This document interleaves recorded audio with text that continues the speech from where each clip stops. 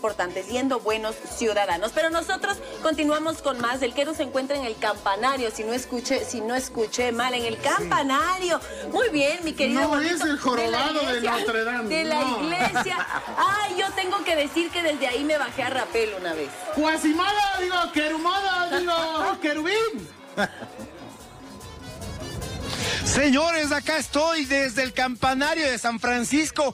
Primera vez en la vida que llego hasta acá. Realmente ya conocí el museo, yo lo he recorrido, pero primera vez que llego acá y parte de la entrada que le vale 4 dólares está incluido pues este recorrido. Si ve allá, si, si ve Sergio, si ve, si ve la uña cómo está creciendo. No, no, está por allá tenemos al panecillo. Podemos, tenemos una vista de la Plaza de San Francisco maravillosa. A ver si alguien me saluda. Hola. Nadie me saluda, no me ven, estoy muy arriba. Pero bueno, este campanario es una maravilla porque, eh, bueno, antes era mucho más alto lo que nos estaba comentando el guía, el guía, turístico, pero en el terremoto de 1868 cayó. Si se alcanza a ver, mi querido Sergio, es, e, era el doble de alto. Eh, la, la, o sea, la, el campanario original era el doble de alto, pero pues con algunos terremotos y sobre todo con el de 1868 quedó a la mitad. Pero, pero igual, aún así, esto es majestuoso. Vamos avanzando por acá hacia las campanas. Mi querido Jonathan, que nos está acompañando acá el día de hoy, nos va a dar un poquito. Jonathan, bienvenido a Saboreando la Mañana. De la iglesia San Francisco. Bueno, la iglesia de San Francisco es conocida por ser el convento más grande de Latinoamérica, ya que ocupa alrededor de tres hectáreas y media, que son unas cuatro manzanas actualmente. Cuatro manzanas, hasta tres hectáreas y media. Yo dije tres hectáreas, ha sido tres hectáreas y media también fue una de las primeras iglesias construidas en Quito, ya que su construcción inicia en el siglo XVI, en 1536, y ah, termina en 1650, es decir, tarda más de 100 años toda esta construcción. Y vemos aquí las campanas que normalmente suenan en ocasiones especiales, como mi cumpleaños y qué más. También, eh, bueno, en ocasiones hechas por las por fiestas franciscanas. La última vez que sonó fue el 4 de octubre en la fiesta de San Francisco. Mire, en mi cumpleaños del 17 de junio y por acá, por acá también tenemos acá las bellas turistas que nos están acompañando el día de hoy. Saluden para Saboreando la Mañana. Estamos en vivo, estamos en vivo. Me cruzo por acá. ¿Cómo es su nombre?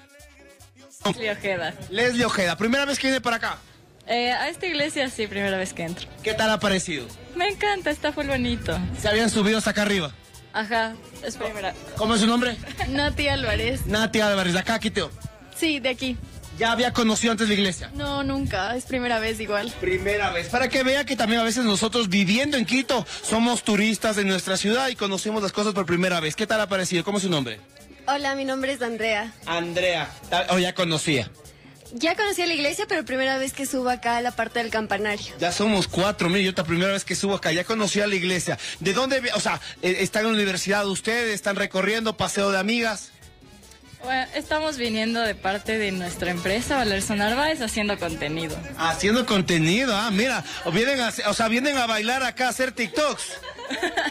Más o menos. Más o menos, dice, están agarrando esto para hacer unos TikToks bien chéveres. Pero aproveche también, claro, qué bonito quedaría el TikTok acá, porque esto también es una forma de promocionar lo lindo que tenemos acá en Quito. Oye, yo, yo me quedo acá curioseando esta maravilla. Por acá también podemos ver el patio central de San Francisco, algunas otras iglesias por allá el palacio, la vicepresidencia, realmente la vista es hermosa. La basílica, hay algunas cosas que todavía fallo, como por ejemplo, no sé, como la iglesia que está allá al fondo, la que está allá.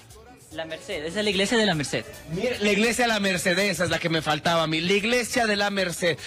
Este es un tour pues muy bonito que usted puede hacer también para festejar a la carita de Dios, disfrutar de estas maravillas. Vamos a marcar una pequeña pausa y ya regresamos con más de Saboreando la Mañana mientras yo me quedo aquí guachando todo.